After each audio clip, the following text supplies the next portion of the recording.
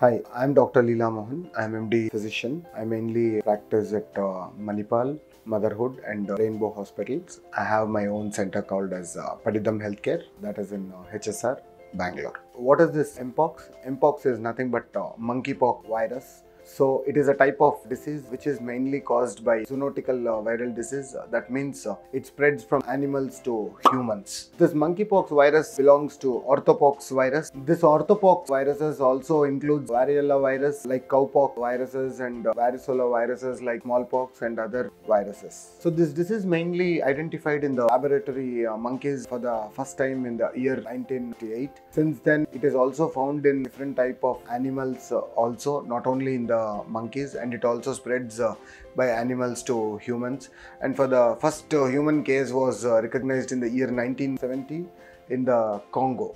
Since then, it had become endemic in central and western parts of uh, Africa, and from there, it had spread to different parts of the countries and all over the regions of the world. The symptoms of mpox are similar to smallpox. Disease can be divided into two phases. The mainly the incubation period will be for one to two weeks, and it can last uh, even up to three to four weeks. So the first phase is prodromal phase where the patient have uh, fever, headaches are the main symptom and then uh, body pains and severe myalgia and of uh, nausea, mild vomiting sensation and people also vomits and some people will be having uh, mild uh, dehydration and the back pain and the swollen lymph nodes also can be there that we'll call it as lymphadenopathy. Chills and sweats also one of the major symptom uh, and there is a problem called as uh, malaise uh, what it is uh, the generalized uh, weakness and tiredness one uh, cannot able to perform their uh, activities these all are the main symptoms in the prodromal phase so the next phase is rash phase. Uh, after developing of one to three days of fever, the person will develop rashes. The rashes uh, can be of different types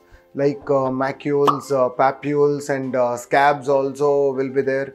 Person also will be having lot of irritation and then itching all over the body. The number of lesions uh, may be from single to numerous. It can spread all over the body. So these are the main phases and the clinical assessment will be done by your physician. If any history of travel is present, you have to inform your physician and then uh, the symptoms uh, development, how it started and how it progressed, you need to explain to your doctor clearly so that he can diagnose very easily and history of travel to the endemic areas. Example to any other uh, part of the country, it has to be given to the physician clearly. The laboratory testing will do PCR uh, that is called as polymerase chain reaction where here we will find out uh, from the samples of the human uh, whether the virus is present in the body or not.